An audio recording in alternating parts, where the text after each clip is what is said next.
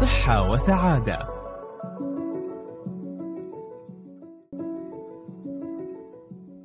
السلام عليكم ورحمة الله وبركاته.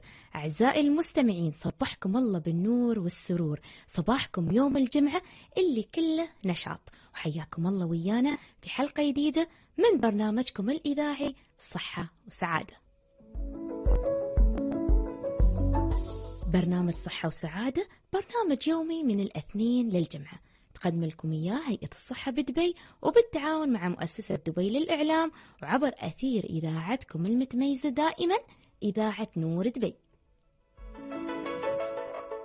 أرحب فيكم أنا دكتورة بدرية الحرمي ونرحب فريق عمل البرنامج ويانا. اليوم عندنا في الإخراج الزميل وائل قواسمة وبالتنسيق الأخت ميرا الغفلي. أما بالإعداد كان عندنا الزميل حسني البلاونة. صبحكم الله بالسعادة جميعا. ها وائل شو رأيك بأجواءنا اليوم؟ أجواءنا حلوة وباردة؟ أجواءنا رائعة يقولكم. ثلج؟ لا بعد ما نزل الثلج. بس أجواءنا أكيد باردة. أجواء إماراتنا الغالية جميلة وما في مثلها. ولا شو رأيكم؟ اللهم احفظ دولة الإمارات قادة وشعبا وأدم علينا نعمة الأمن والأمان يا رب العالمين. أعزائي المستمعين نحن في برنامج صحة وسعادة دائما نحاول نختار لكم المواضيع والفقرات اللي تهمكم وتخص صحتكم.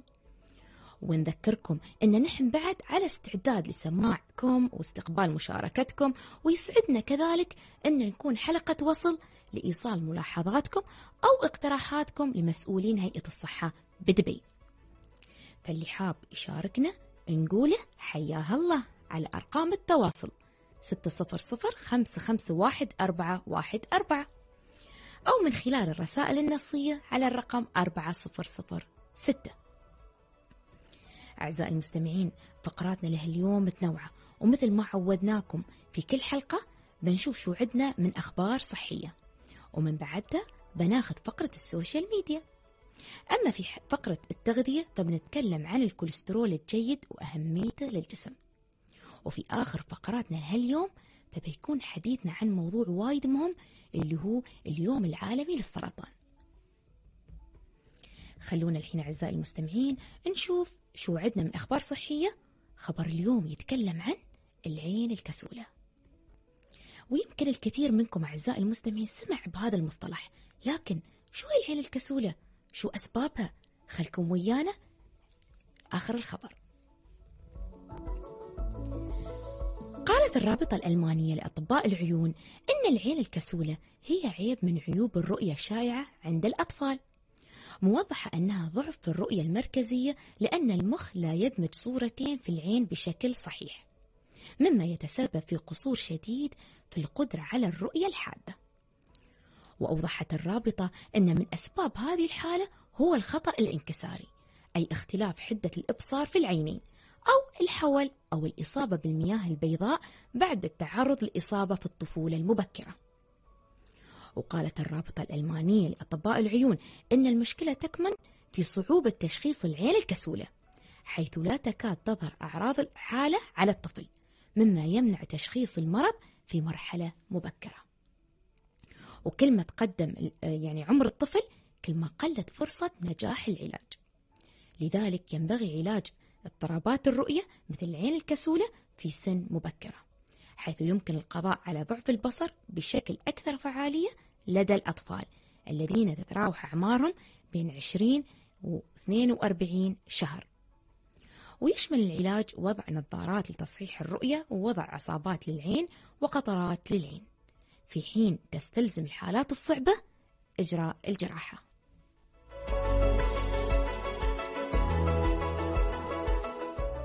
دائما أعزائي المستمعين التشخيص المبكر مهم لاكتشاف الكثير من الأمراض وعلاجها وخاصة في المراحل الأولى قبل ما تتسبب في المضاعفات. ومن المهم علينا يعني كآباء وأبن أمهات أن ننتبه لعيالنا وخاصة في سنواتهم الأولى. فإذا شفنا شيء مو طبيعي في نموهم أو إدراكهم يعني علينا مباشرة أن نطلب المساعدة الطبية. الله يحفظكم ويحفظ عيالنا يا رب العالمين. أعزائي المستمعين وبعد ما خلصنا خبرنا لهاليوم خلونا الحين ناخذ فقرة ال social media ونسمع شو آخر مواضيع وسائل التواصل الاجتماعي وشو المتداول فيها. مع الزميلة أسماء الجناحي مسؤول مسؤولة ال social media في هيئة الصحة بدبي. خلونا نشوف الأخت أسماء. اليوم شو بتخبرنا؟ من أخبار؟ أخبار تتعلق بوسائل التواصل الاجتماعي وخاصة اللي يعني مواقع هيئة الصحة بدبي. ها؟ أسمع ويانا على الخط ولا؟ تمام. أعزائي المستمعين يعني طبعا آه، مثل ما سمعنا كلنا من أهم الأخبار اللي في يعني وسائل التواصل الاجتماعي الحين اللي آه، ذكره سمو الشيخ محمد بن راشد آل مكتوم حفظه الله. موضوع اللي هو يعني إطلاق أجمل مبنى في العالم اللي بيكون تاريخ 22 2 2022 وكلنا متحمسين الصراحة أن نشوف المبنى هذا. ولا شو رأيكم؟ أسماء على الخط الحين الظاهر أسماء نست اليوم دوام يلا خلينا نشوف أسماء صبحت الله بالنور والسرور عزيزتي أسماء صبحكم الله بالنور والسرور دكتور عليكم وعلى كل مستمعي إذاعة نور دبي. هاي أسماء يوم شفناك ما رديتي قلنا أكيد الحين أسماء يمكن نست اليوم دوام. لا كنت اركض اركض التليفون. لأن اليوم جمعة يمكن بعدك مخربطة. لا هو يعني أحاول أخلص كل شيء عشان ما أشله وياي في ال weekend فكنت مندمجة ممتاز. إنزين. عزيزتي أسماء خبرينا شو آخر أخبار التواصل الاجتماعي؟ أنا صراحة قلت لهم يعني أهم خبر اللي هو إطلاق أجمل مبنى في العالم اللي أطلقها سمو الشيخ محمد بن راشد حفظه الله. صحيح. نترياه من زمان بس يعني إن شاء الله فبراير بيكون من شهر مميز. آه لأنه في شهر الابتكار وفي افتتاحات وايد جميلة. وأيضا آه، نحن عندنا بيكون لأن كثير من المشاركات في هالشهر وإنجازات هيئه الصحه بننشرها يعني شوي شوي في ال social media. إن شاء الله. زين إني عند بعض الأشياء يصادف 4 فبراير من كل عام هو اليوم العالمي للسرطان. أه ولهذا لأن اليوم هو اليوم العالمي كنا حاطين مجموعة من النصائح المهمه للوقاية أو نصائح أو ممارسات ممكن تقلل من خطر الإصابة بالسرطان. ومن ضمن الأشياء هي ثلاث أشياء أو شيئين وايد مهمين أشوفهم أول شيء تناول الأطعمة الصحية وممارسات ممارسه النشاط الرياضي وهذا هو بيعني إن الإنسان يكون عنده نمط حياة صحي.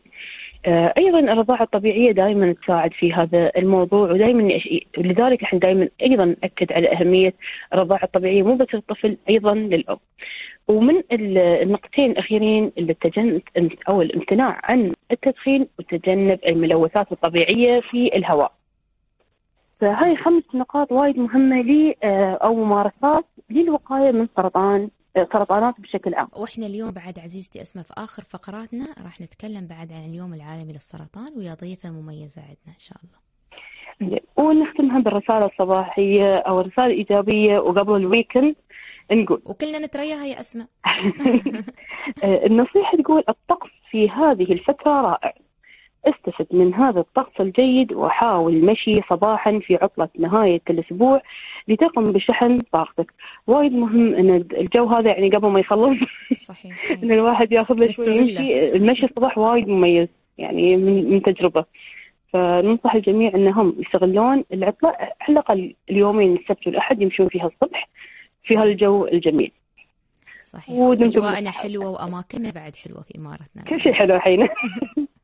فنحن نقول حق الناس تطلعوا ولكن ها لا تنسون تلتزمون بالإجراءات الوقائية. صحيح. شكرا لك عزيزتي أسماء مسؤولة ال social media في هيئة الصحة بدبي. أتمنى لك إجازة نهاية أسبوع سعيدة وإن شاء الله نلقاك الأسبوع الجاي بإذن الله. أعزائي المستمعين الحين بناخذ فاصل وبنرجع نتواصل وياكم ونكمل باقي فقراتنا لهاليوم. تريونا. صحة وسعادة.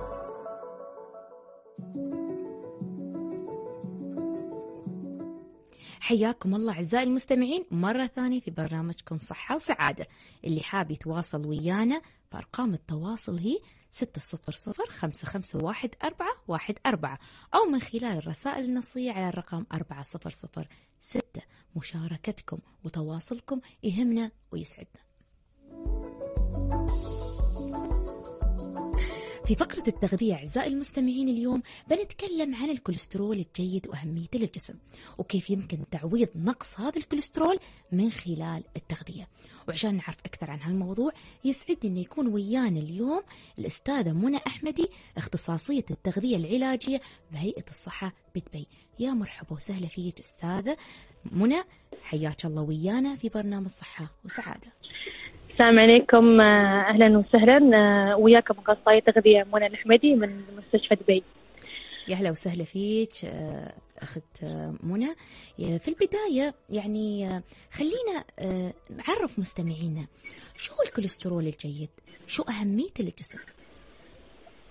طبعا الدهون بشتى أنواعها وأشكالها الدهون هي مصدر من مصادر الطاقة الأساسية لجسم الإنسان والحفاظ على توازنها وعلى معدل الكوليسترول الطبيعي مهم جدا للرجال والنساء من مختلف الفئات العمرية وطبعا الكوليسترول الجيد له وظائف عديدة في جسم الإنسان يساعد على إنتاج بعض الهرمونات في جسم الإنسان وكما يساعد على الكوليسترول الجيد على بناء أغشية جدران الخلايا واهمها من هذه الأسباب بعد يساعد على إمداد الجسم بفيتامين D.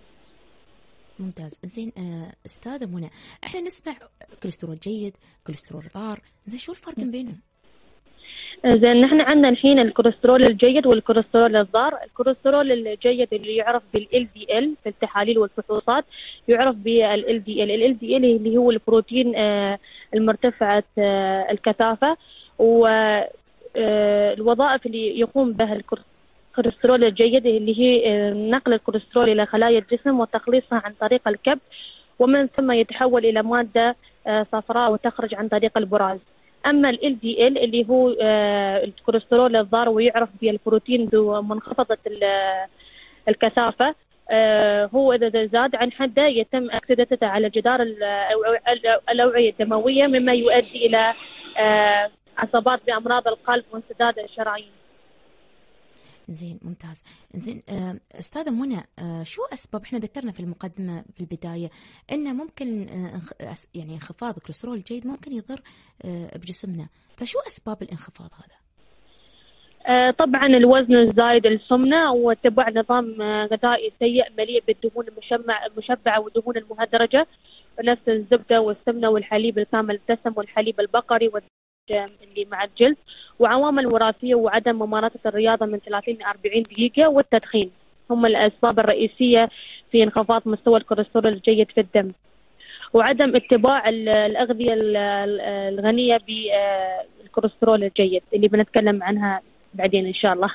زين دامنا تكلمنا عن أسباب نقص الكوليسترول الجيد يعني هل هناك في مضاعفات ممكن يعني يؤدي إلى نقص هذا الكوليسترول أو أمراض ممكن يسببها إذا تعطينا بالتفصيل شوي هي نعم عدم توازن الكوليسترول الجيد مع الكوليسترول الضار في جسم الإنسان هناك يؤدي إلى عديد من المضاعفات مثل تصلب الشرايين المبكر، مرض الأوعية الدموية الدماغية، الاكتئاب، القلق، عدم التركيز، هذه الأسباب الرئيسية طبعا. لا يجب أن أن يعني نوازن من بين الكوليسترول الجيد والضار بمعدل طبيعي مما يعني إذا تحبين أنا بذكر المعادلات الطبيعية. تفضلي okay. طبعا بس حبيت أخبر المستمعين إن نحن في تحديد المستوى الدهون في فحص الدم. إن كأخصائيين تغذية نشوف إجمالي الكوليسترول في الصيام اللي هو المعدل الطبيعي يكون أقل من 190 ملي جرام في الديسيليتر والمرتفع يكون من 240 ملي جرام في الديسيليتر.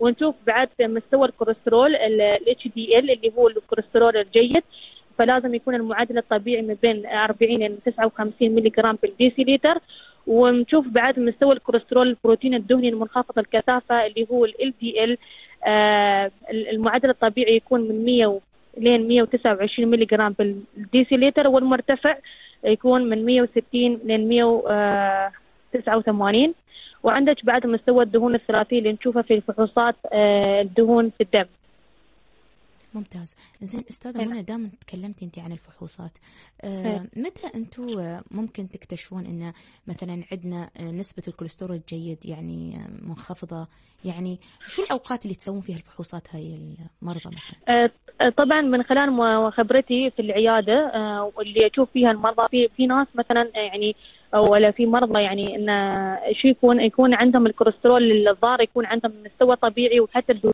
الثلاثية والاجمالي الكوليسترول لكن ما ما يلاحظون إنه يكون في انخفاض في مستوى الطبيعي في الكوليسترول الجيد اللي هو ال HDL فلازم المعدل الطبيعي يكون آه، ما بين آه، إذا كان أقل من 40 إذا كان أقل من 40 فهو يعتبر أنه آه، المس- المستوى آه، أقل عن المستوى الطبيعي.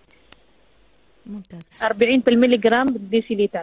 يعني آه، أنتم ممكن تكتشفون هذا الانخفاض مثلا في الفحوصات الدورية اللي الشخص إيه. يسويها؟ هي نعم في الفحوصات الدورية. أو ممكن الناس مثلا اللي يراجعونكم عندكم في العيادات؟ هي نعم.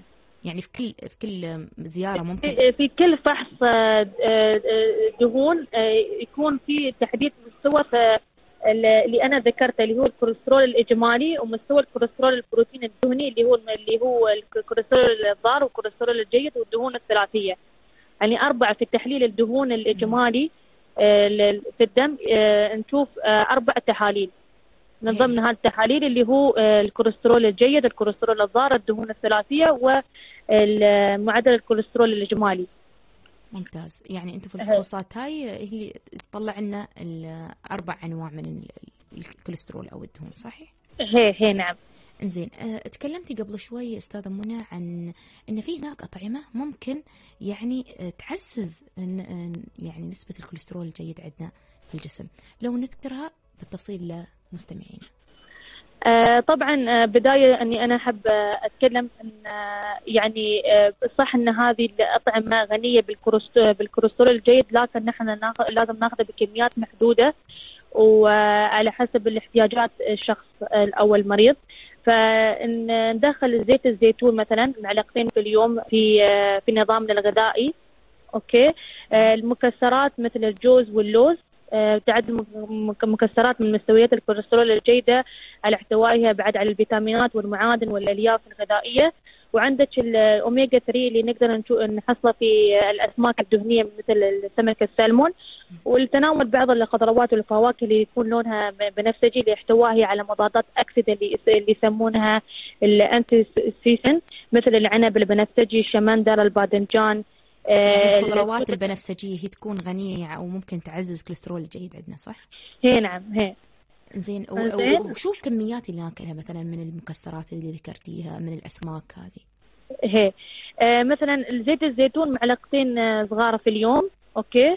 المكسرات من 30 ل 60 جرام في اليوم عندك ال- ال- يعني إيش كثر تقريبا يعني آه، قد كف الإيد يعني, يعني مثلا من خمس آه، من آه، طبعا المكسرات النية اللي مش محمصة اللي مش آه، من آه، تقريبا آه، يعني من خمس لين عشر لين 15 حبة فقط يعني مش مم. أكثر عن هذا. في اليوم. هذه؟ هي في اليوم. زين. وعندك آه، من آه، حصتين ثلاث حصص اسبوعيا زيت ال- آه، الأسماك الدهنية اللي هو سمك السلمون مثلا. زين وال- والفواكه عندك من آه، ثلاث من أربع حصص خلال اليوم. ممتاز. زين آه، أستاذة منى قبل ما ننهي حوارنا لهاليوم نبى منك بعض النصائح اللي آه، يعني ممكن تفيدنا لما نصير نتسوق مثلا نصير نجمع نشتري أغراض البيت. يعني شو الأشياء اللي ممكن ناخذها وما تضر بصحتنا وبنفس الوقت تعزز من الكوليسترول الجيد؟ طبعا آه، نبتعد عن الدهون المشبعة والدهون المهدرجة اللي نحصلها في آه، نحصلها في كثير من ال- الحلويات والبسكوت. آه، نبتعد عن هذا الشيء. نلجأ إلى الخضروات والفواكه. نلجأ إلى الأسماك. الدهنية نفس ما ما ذكرت. ندخلها في النظام الغذائي. وفي وفي الوجبات الخفيفة نفس ما بعد ذكرت ندخل المكسرات ندخل آه، حتى بعض المنتجات الألبان والأجبان اللي يكون لو فات فيها نسبة قليلة من ال- الكوليسترول الجيد اللي نقدر ندخلها في النظام ال- الغذائي. هذا اللي ذكرته من قبل. وأعتقد من المهم بعد إن إحنا نوصي آه، كل اللي يسمعونا لما يصيرون يشترون من الجمعيات إنه يركزون على البطاقة الغذائية للمنتجات. هذه هي نعم. مهمة صحيح؟ ال- ال- البطاقة الغذائية جدا مهم إنه يحدد نسبة الدهون المهدرجة اللي هو saturated fat يسمونه في saturated fat اللي هو الدهون المشبعة اللي جسم الإنسان ما يحتاجه ابدا آه، ندخله في النظام ال- الغذائي. وبعد ال total cholesterol نشيك ال total cholesterol اللي هو الإجمالي الكوليسترول في ال- البطاقة الغذائية. شو لازم يكون يعني آه، مثلا النسبة المقبولة؟ لو شفناها يعني- المنتجات مثلا. ما يتحدى ما, ما يتحدى ال- ال- الديلي نحن عندنا ديلي اناونس يعني ما يتحدى النسبة ال- الاحتياجات اللي أنا أبغيها خلال اليوم. ممتاز. ممتاز.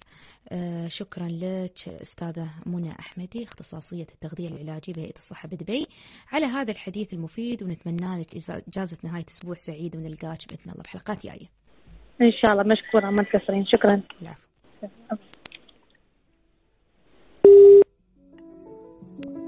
أعزائي المستمعين بعد ما خلصنا فقرة التغذية الحين بناخذ فاصل وبنرجع نتواصل وياكم ونكمل آخر فقراتنا لهاليوم واللي بتكون عن اليوم العالمي للسرطان. تريونا صحة وسعادة.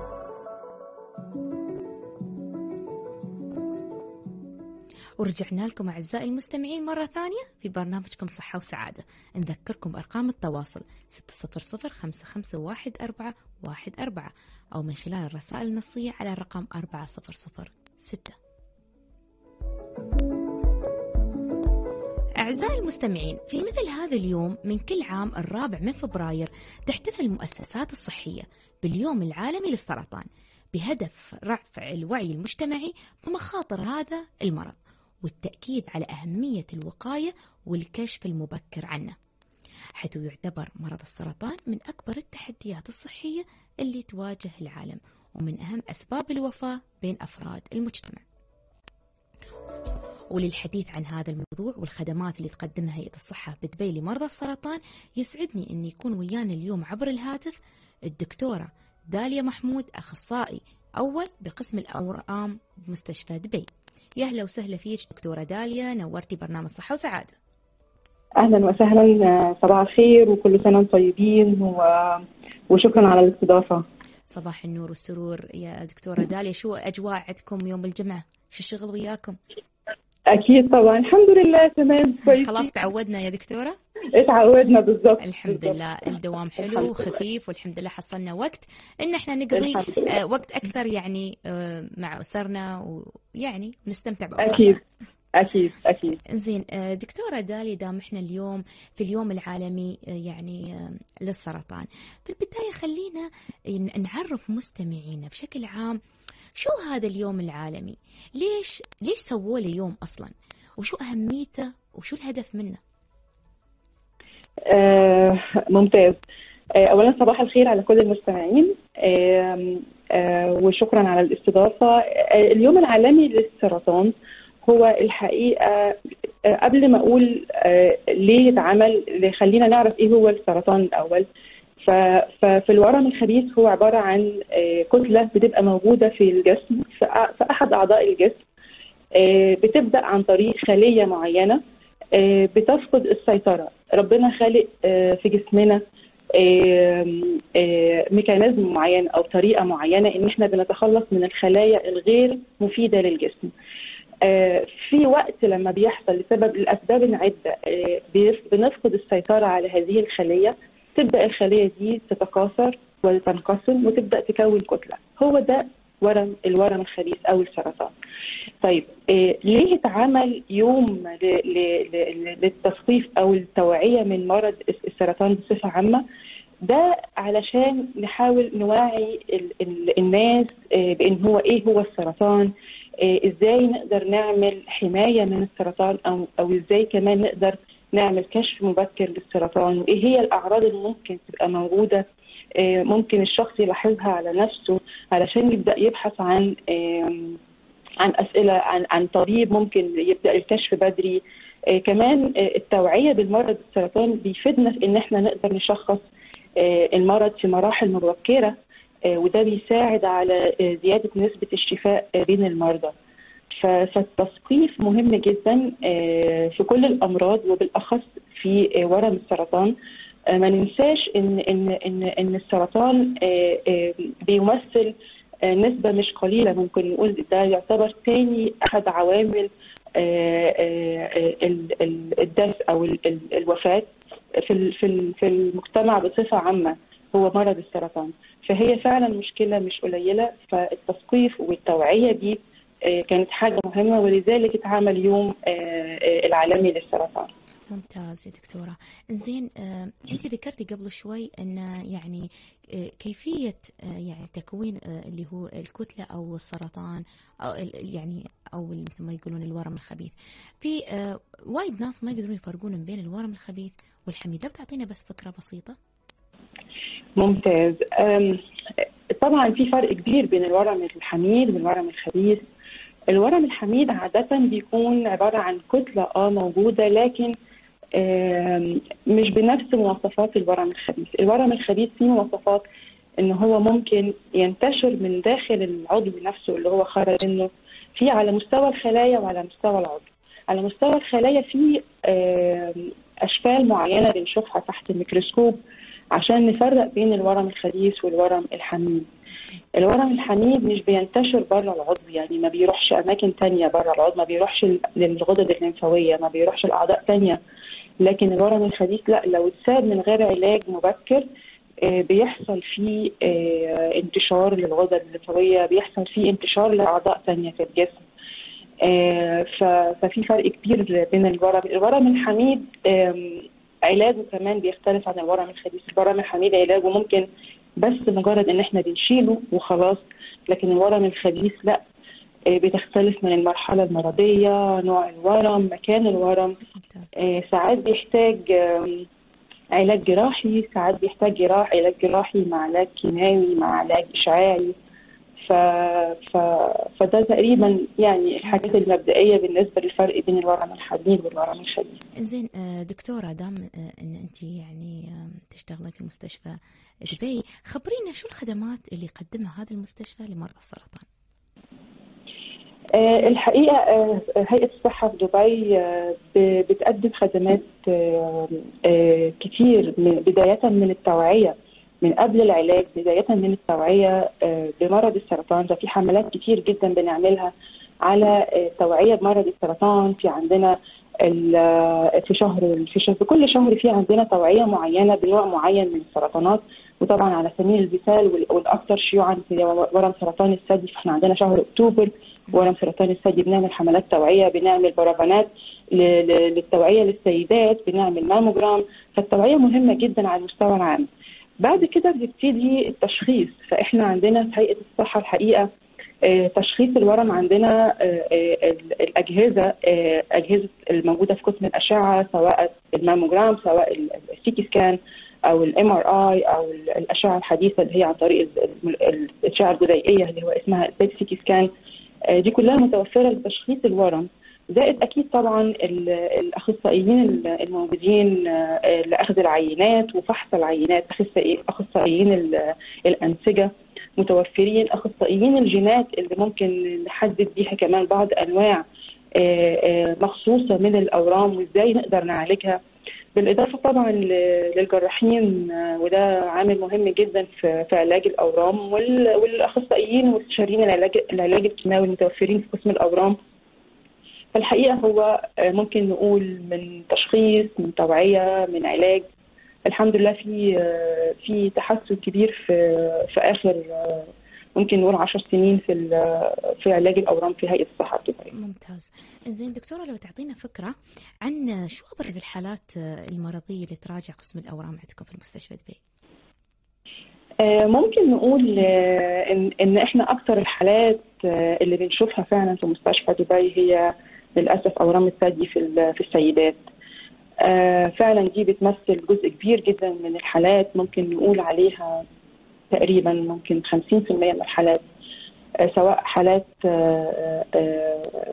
اللي هي early stage اللي هي في المراحل الأولانية أو أو الحالات ال advanced. بعد كده بيجي في الترتيب حالات اورام القولون آه برضو دي نسبتها مش قليلة آه كمان آه حالات أورام البروستاتا أورام الرئة آه فاكثر حاجة بتتشاف الحقيقة هي أورام أورام الثدي في السيدات. ممتاز. زين دكتورة دام إحنا نتكلم عن يعني مرض السرطان وهو من يعني من أهم الأسباب للوفاة نبغى نعرف يعني شو العوامل الخطورة أو شو الأسباب اللي ممكن تؤدي لها المرض طيب هو علشان يحصل ورم الورم الخبيث أو السرطان بيبقى في ممكن نقول في أسباب أو عوامل الخطورة ممكن نقدر نتدخل فيها. أو ممكن نقللها بصفة عامة. وفي أسباب تانية صعب إن إحنا نتدخل فيها. هنبتدي بالأسباب اللي بنقول عليها ما نقدرش نغيرها أو ما نقدرش نعمل فيها حاجة. وأول حاجة بتكون فيها السن. عامل السن بحد ذاته. كل ما بن... كل ما بيزيد سن الإنسان كل ما بيتعرض لحاجات وعوامل بيئية وأكل وطريقة عيشة معينة دي بحد ذاتها بتخلي فرصة إن يحصل ورم سرطاني أكتر. حاجة تانية كمان برضو ممكن ما نقدرش نتدخل فيها أو ما نقدرش نعمل فيها حاجة اللي هو العامل الوراثي. بلا شك إن في بعض الأورام السرطانية ليها عامل وراثي بتبقى عن طريق اللي هو الجين الوراثي اللي هو بيبقى موجود في العائلة. لو إحنا عندنا حد في العيلة عنده ورم سرطاني بالذات لو كان في سن صغير بتكون نسبة اللي يكون إن في عامل وراثي بتكون قوية في بعض التحاليل في بعض الأورام ممكن بنعملها علشان نقدر نعرف إذا كان في عامل وراثي متواجد في العيلة أو لا. يعني مثل, مثل سرطان الثدي يعني والقولون صح؟ إذا حد بالزبط. كان عنده مثلا هذا الورم إن ينصحون إن أفراد العائلة خاصة من الدرجة الأولى إن يسوون ال برافو عليك الفحص هذا فعلا دول الحاجتين فعلا اللي بيبقوا أكثر حاجات بيبقى فيها عامل وراثي للسرطان سرطان الثدي وسرطان القولون. لو نتذكر أنجلينا دولي هي كانت حد من الحد من الناس اللي عندها عامل وراثي عندها حد في العيلة والدتها كانت نفس الشيء ولذلك هي بدأ هي عملت التحليل الجيناتي طلع فعلا إيجابي. ولذلك عملت بعض الحاجات اللي هي ممكن تقلل إن هي يحصل لها سرطان الثدي. الحاجات الثانية اللي ممكن نتكلم عليها اللي هي ممكن نغير فيها بترفع عوامل خطورة إن يحصل سرطان بس إحنا ممكن نتحكم أو نقللها أول حاجة طبعا أسلوب الحياة اللي إحنا بنعيشه ال physical fitness إن إن الإنسان يكون نشيط يكون بيعمل نوع من أنواع الرياضة مش لازم تكون رياضة عنيفة لكن الرياضة حتى البسيطة المشي المشي البسيط لمدة نص ساعة مرتين في الأسبوع ثلاث مرات في الأسبوع. بتساعد كتير جدا في إن هو تقليل أعراض تقليل حدوث الأورام. كمان من الحاجات المهمة جدا التدخين وده له علاقة مباشرة بسرطانات الرئة. إحنا أكيد عارفين ده. صحيح.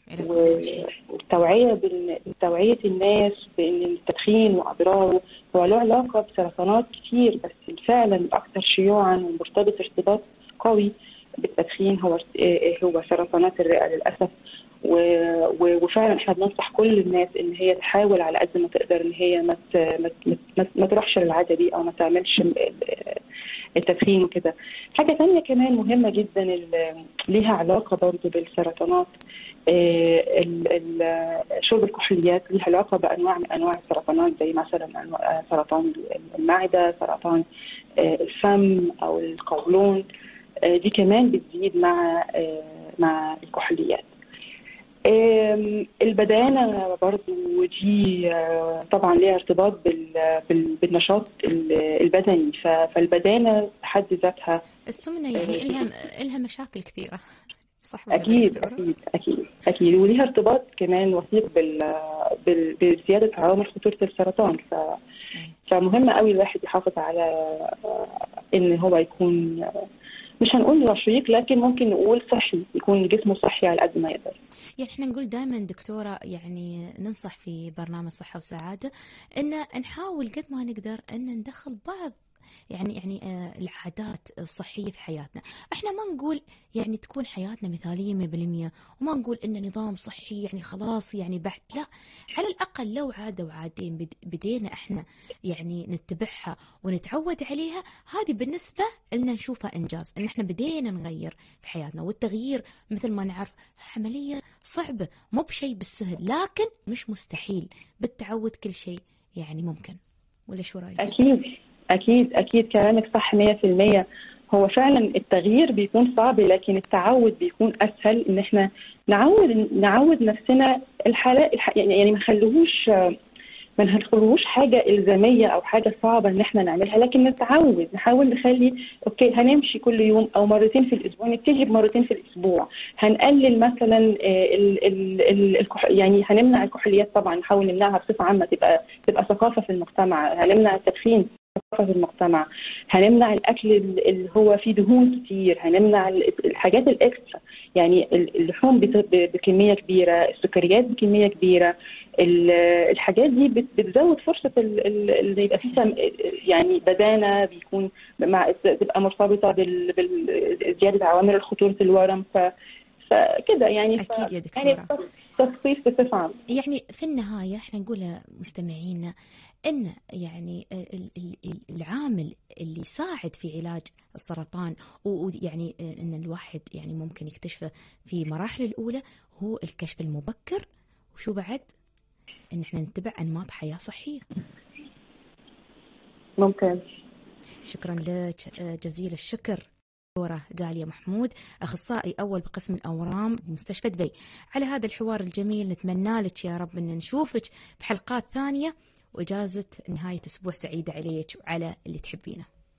شكرا جزيلا على الاستضافة ونتمنى الصحة والعافية لكل الناس. شكرا لك. شكرا لك. أعزائي المستمعين أعزائي المستمعين الحين وصلنا message آه، بس ال message هذا يتعلق بحلقة آه، يعني بفقرة التغذية اللي هي عن الكوليسترول. وإن شاء الله نوعد آه، مرسل ال message هذا أن نرد عليه بأسرع وقت ممكن. زين أعزائي المستمعين اليوم يوم الجمعة آخر يوم دوام.